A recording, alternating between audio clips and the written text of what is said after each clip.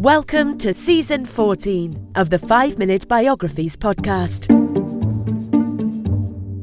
Here is your host, Wayne Armstrong. Hi, guys. Welcome to the 5 Minute Biographies podcast. Before we get started, I'd just like to point out that there's no advertising on this podcast, and so if you'd like to support the show, please consider subscribing to the YouTube channel at 5minutebiographies.com forward slash YouTube. Or if you'd like to support it in a more direct way by, say, buying me a coffee, please check out 5minutebiographies.com forward slash coffee to see how.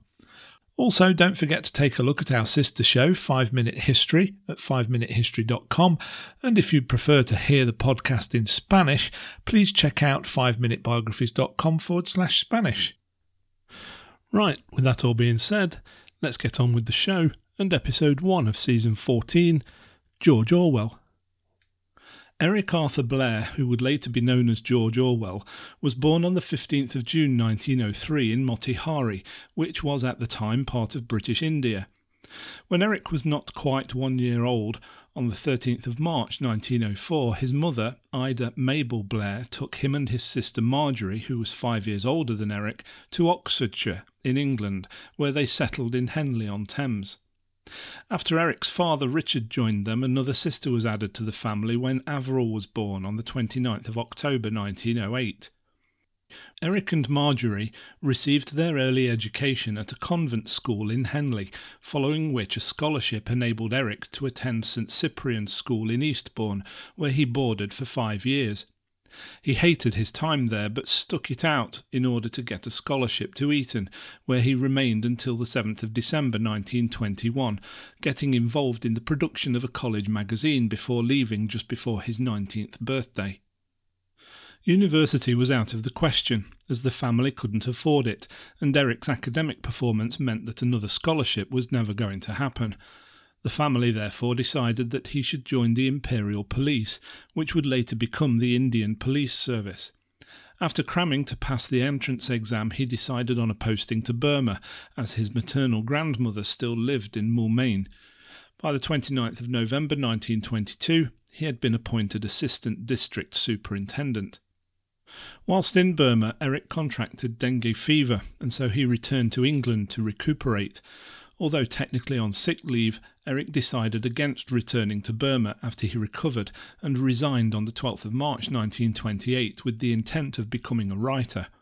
His experiences of life in the Indian police force influenced the 1934 novel Burmese Days and two essays, A Hanging, which was published in 1931, and Shooting an Elephant, which was published in 1936.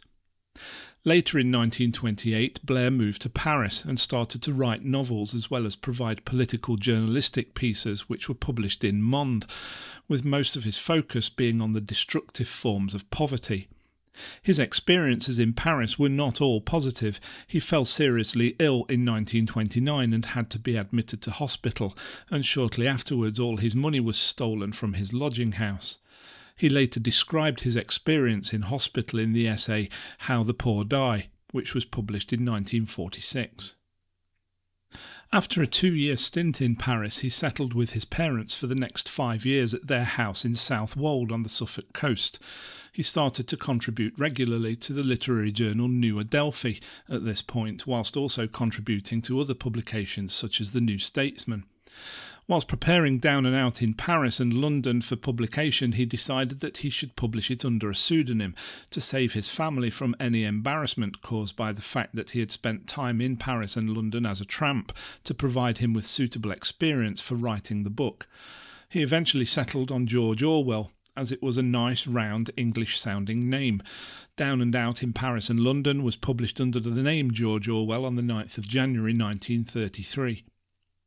He set about preparing his next novel, Burmese Days, for publication, whilst at the same time working on a new one called A Clergyman's Daughter, which was published on the 11th of March 1935. Burmese Days was published in June the same year. This was followed by The Road to Wigan Pier in 1937. The first part of this book was a commentary on the social conditions of the north of England around Yorkshire and Lancashire. The second part of the book was a long essay that included notes about his upbringing and also included an argument for socialism. The book resulted in George Orwell being the subject of surveillance by Special Branch, which is part of the British Police Service that deals with matters of national security, for the next 12 years. In 1935, during some time spent in London, George Orwell had met Eileen O'Shaughnessy at a party that had been arranged by his landlady.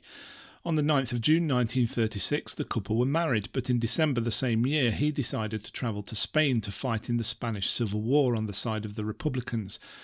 Due to his previous police training, he was quickly advanced to the rank of corporal, but didn't see much action until he reached the front, where he was wounded in the throat by a sniper's bullet. He received electrotherapy treatment but was declared unfit for service. By July 1937, Orwell was back in England and settled down to recount his Spanish Civil War experiences in his book Homage to Catalonia. In March 1938, George Orwell had another health scare and was admitted to Preston Hall Sanatorium, where he was thought to be suffering from tuberculosis. To aid his recuperation and to avoid the British winter, he only stayed there until September, after which he and his wife travelled to Marrakesh in French Morocco, where they rented a villa near Casablanca. Whilst there, Orwell wrote Coming Up for Air. He travelled back to England in March 1939, and Coming Up for Air was published in June, the same month in which George Orwell's father, Richard Blair, died.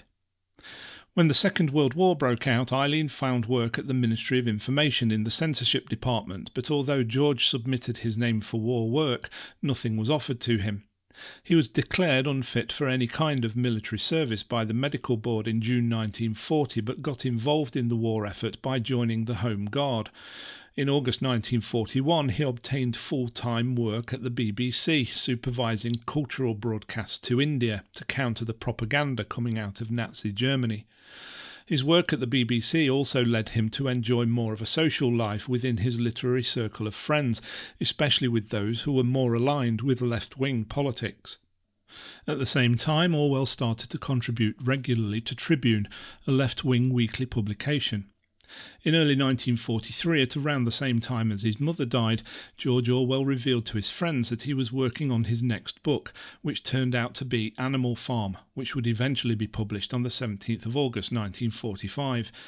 His need to spend time on his new project and the revelation that hardly any Indians listened to his broadcasts resulted in Orwell resigning from the BBC in September 1943. He also resigned from the Home Guard on medical grounds. In September 1944, the Orwells moved to a new home at 27B Canonbury Square in Islington, London, where they were joined by an adopted son called Richard Horatio Blair. Orwell's wife, Eileen, gave up her work at the Ministry of Information to look after him, whilst early the following year George took up work for The Observer as a war correspondent. However, the war was almost over, and so he never saw any action, although he was present in Paris for the liberation of France. He also travelled to Cologne after its occupation by the Allies. Unfortunately, though, whilst there, Eileen was taken to hospital for a hysterectomy, and whilst under anaesthetic, she died on the 29th of March 1945 at the age of only 39. After the war, George Orwell continued his journalistic writing and started work on his next project, which was the future set dystopian novel 1984. He also employed a housekeeper called Susan Watson to look after his son. In May 1946, George's sister Marjorie died, and so shortly afterwards he and his sister Avril moved to an abandoned farmhouse complete with outbuildings called Barnhill on the Isle of Jura, which is in the Inner Hebrides of Scotland. He was joined later by Susan Watson and his son Richard. However, Susan and Avril did not get along, and shortly after Susan's boyfriend arrived, who was a member of the Communist Party and clearly not liked by George, they both decided to leave. On the 19th of August 1947, George suggested a boating trip, which almost turned into a tragedy. Although loss of life was avoided, George nevertheless received a soaking which was not good for his health. By December, he had become seriously ill and was diagnosed with tuberculosis.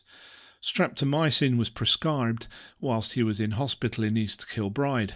He returned to Jura at the end of July 1948 and completed the manuscript for 1984. The novel was published in June 1949 and was an instant commercial and critical hit. At around the same time, George Orwell started to see a woman called Sonia Brownell, and the couple were engaged in September. George's health, though, was still in decline, and he had to be admitted to University College Hospital in London. Sonia stayed by his side and took charge of his affairs, and she and George were married in his hospital room on the 13th of October 1949. He received various visitors over the next few months, including Lucian Freud and Evelyn Waugh. Plans were made for George to visit the Swiss Alps in the hope that the mountain air would help recovery, but these plans were never really taken seriously as by then he was too ill to travel. George Orwell died on the 21st of January 1950 after an artery burst in one of his lungs. He was 46 years old. I hope you enjoyed that episode of 5 Minute Biographies. If you would like to see some pictures to go with the words, please check out the YouTube channel at 5minutebiographies.com forward slash YouTube. You can also support the show simply by leaving a review wherever you get your podcasts. But if you would like to support the show more directly by, say, buying me a coffee, please take a look at 5minutebiographies.com forward slash coffee to see how. Thanks for listening, and I'll see you next time. Thanks for listening to the 5 Minute Biographies podcast at www.5minutebiographies.com.